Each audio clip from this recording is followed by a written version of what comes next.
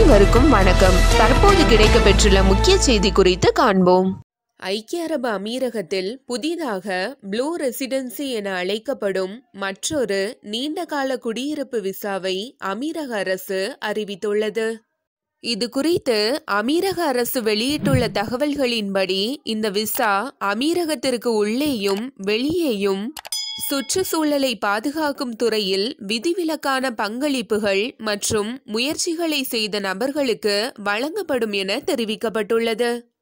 அதன்படி சர்வதேச நிறுவனங்கள் சங்கங்கள் மற்றும் அரசு சாரா நிறுவனங்களின் உறுப்பினர்கள் உட்பட உலகளாவிய விருது வென்றவர்கள் சுற்றுச்சூழல் பணிகளில் சிறந்த ஆர்வலர்கள் மற்றும் ஆராய்ச்சியாளர்கள் போன்ற சுற்றுச்சூழல் நடவடிக்கையை ஆதரிப்பவர்களுக்கு இந்த புதிய ப்ளூ ரெசிடென்சி வழங்கப்படும்.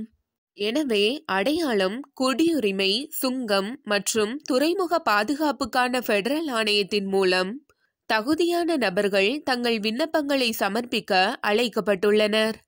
அத்துடன் இத்துறை தொடர்புடைய அதிகாரிகள் நீண்டகால விசாவிற்கு தனிநபர்களை பரிந்துரைக்கலாம் எனவும் கூறப்பட்டுள்ளது.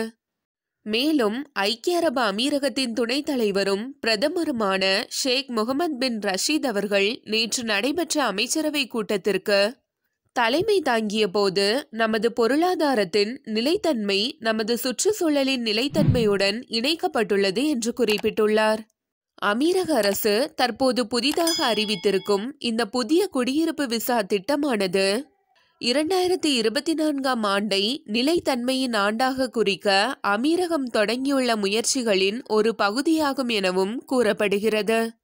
இதற்கு முன்னதாக இரண்டாயிரத்தி பத்தொன்பதாம் ஆண்டில் அமீரக அரசாங்கம் முதலீட்டாளர்கள் தொழில் முனைவோர் விஞ்ஞானிகள் சிறந்த மாணவர்கள் மற்றும் பட்டதாரிகள் மனிதாபிமான முன்னோடிகள் போன்றவர்களுக்கு கோல்டன் விசாக்கள் என்ற பத்து ஆண்டு குடியிருப்பு விசா திட்டத்தை அறிவித்தது.